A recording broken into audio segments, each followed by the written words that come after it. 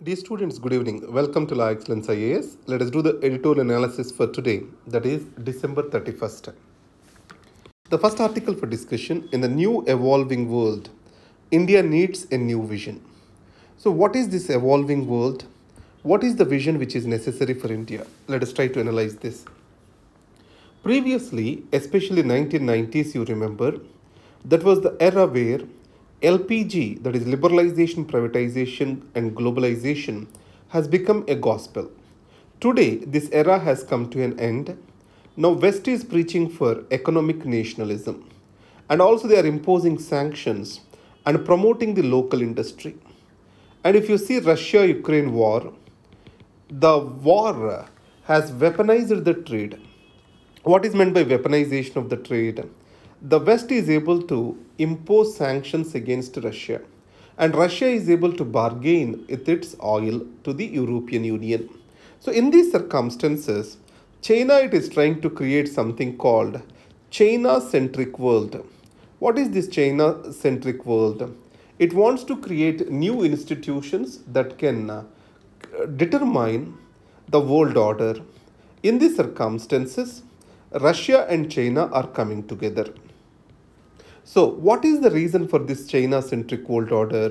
The economic might of the China is the major reason. Now, what India shall do in these circumstances? On one side in India, inequalities are rising.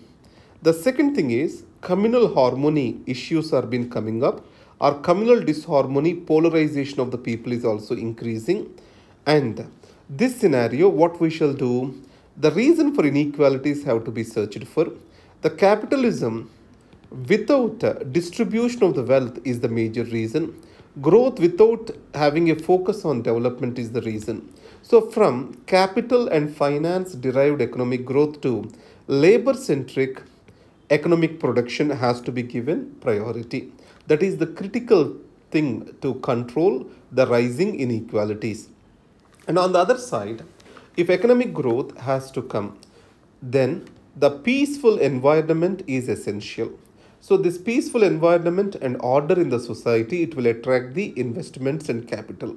So for this, we have to ensure communal harmony. So the external security and internal security, if they are good, then that attracts investments, which in turn provides for economic growth. Again, what is the biggest advantage of India? It has got huge market after China. So the market can be its bargaining tool. Using market as the bargaining tool or market access as the bargaining tool, India has to derive its new geo-economic strategy. So in this new geo-economic strategy, what India has to focus on getting new technology and capital from other countries. And added to that, if India has to fight its poverty, illness, disease and everything, what are required? Decentralization is required and this decentralization always shall be coupled with accountability. Decentralization and accountability put together, we have to create robust institutions. We shall avoid the temptation for centralization. Robust working institutions with decentralization and accountability will ensure the better outcomes for India. The next article is A strong case exists for marriage equality. If you see this Navtej Singh Johar case, what we say, it has decriminalized the homosexuality in India. Section 377 of Indian Penal Code was struck down and um, it has provided for new liberty. In this case, on what grounds the Supreme Court has struck down 377? One is on liberty and privacy. And the second important thing is equality.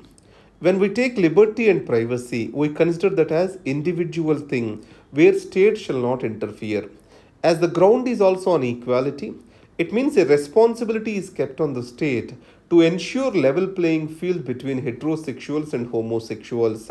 The principle of equality mean that. In this scenario, the sequential rights from right to equality, right to marriage, right to adopt children, and right to have or else right to have inheritance all these comes from equality rights So the consequential rights of right to equality has to be maintained even for homosexual community. The second most important thing over here is um, the heterosexuals and homosexuals. This is a sexuality based differentiation. Under Article 14, any kind of unequal treatment, it has to be based on a reasonable classification. So sexuality cannot be a basis for this unequal treatment. It is an unreasonable classification. That's how it is being stated as. Next is bad to worse. Benjamin Netanyahu has become the prime minister of Israel again. This is the sixth term he is becoming the prime minister. So he belongs to Likud party. If you see the coalition, what it consists of, all of them are extremist right-wing parties. Most of them are right-wing extremist Zionist parties. Because of this, the Israel-Palestine problem is going to be exaggerated, for, exaggerated further. And second, the agenda of this government is also to dilute the powers of judiciary. So dilution of powers of judiciary, lack of stance to accommodate different interests and protection of the interests of the minorities, it can ultimately push Israel as a theocracy, a Jewish theocracy which is elected. Theocracy means a country that is ruled by a religion. So that is how it is turning itself into. Next is precipice of shame. So Indian cough syrup, it has led to deaths of children in Gambia and Uzbekistan. In this scenario, remember one point. India is often described as the pharmacy of the world. If we have to keep up this reputation, these kind of things have to be avoided. And next, the other side of the sanctuary. You know that Western Ghats committee was there that is called Western Ghats Ecology Expert Panel. Madhav Gadgil was the chairman. What he said is every protected area shall have eco-sensitive zone surrounding it and operations, human interventions and human action has to be very minimal in this area. The Supreme Court gave the judgment to create eco-sensitive zone of 1 kilometer surrounding every protected area. Obviously, once this zone is created, the Forest Service officers are going to have control over this. And many of the settlements which are there in this area are agricultural farmlands which are there in this area. They are going to face tough times from the forest bureaucracy. Those are the concerns which are being raised. These are the articles for today. Happy New Year. Have a good day.